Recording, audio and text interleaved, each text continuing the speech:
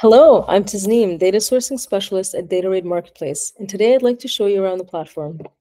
Datarade Marketplace is one of the world's largest data marketplaces with over 100,000 monthly visitors and more than 3,000 data products available.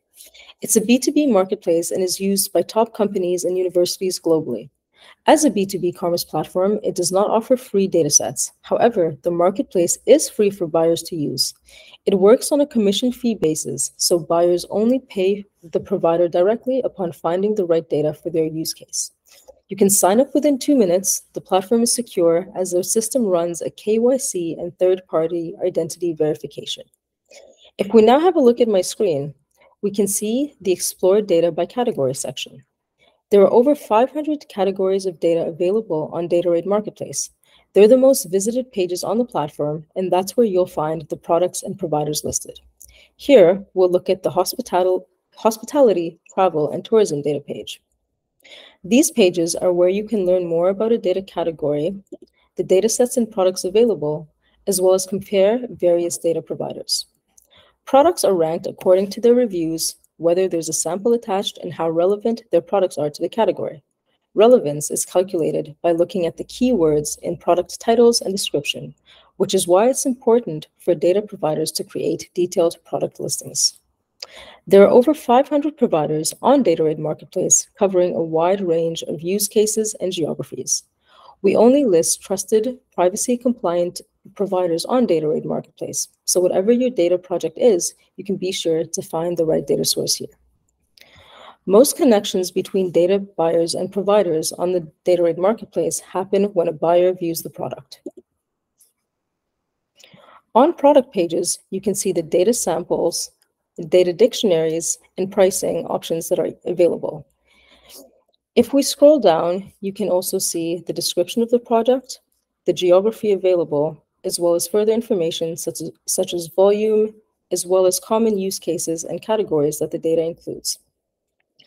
Buyers can contact providers via product pages or by requesting sample, quote, or more information. Additionally, in order to find out more information regarding the data provider, you can click into the storefront page for the provider. Here's an example of the Data Appeal Company's storefront page. Here, the storefront houses the provider's data catalog, as well as includes a profile about the company themselves, their data offering, as well as typical use cases and data categories covered. If a provider has collected reviews on Datarade Marketplace, you'll also see them here. Reviews are especially helpful to win buyer trust. You can also contact providers from their storefront, although most con conversions on the marketplace happen from the product page. So we'll go back into the previous product and click on Get a, custom quote. Here, we're able to provide the details of the inquiry to send off to the provider. You can select the country coverage needed, the use case, and the data categories. On the next page, you have the ability to select the data frequency, add in an estimated budget, as well as further outline the requirements in detail. It is highly recommended that you, that you add in a message to send to the data provider in order to get a faster and more comprehensive response. Here, we recommend that you add in what you're looking for, the timeline for getting the data, as well as which data attributes are important to you, and if applicable, whether you're looking for raw or aggregated data. Here, we will imagine that I'm looking for footfall data in popular coffee shops. I've outlined the attributes that I'm looking for, as well as the timeline that I'm looking to get the data within. In the next pages, you'll be asked to either enter in or confirm some of your personal contact details, as well as company information. What you will then have the ability to do is send in your inquiry. Once that happens, the provider will be in touch regarding whether or not they can help you with your request. Additionally, you will see some other recommended products based on the original product that you expressed interest in. You can either choose to, uh, to accept these recommendations or simply skip the step. I choose to accept and, the, and am then taken to my inquiry page. Once a provider has accepted your request, you will see the update here in your account. From the account page, you also have the ability to see any messages back and forth between you and the providers. Finally, I'll show you how to create a data posting. If I click here at the top where it says post your data request, you'll be taken to this page.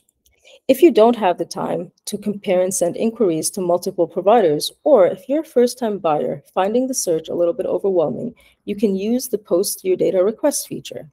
Here, you have the ability to outline your data requirements as we did in the previous screens.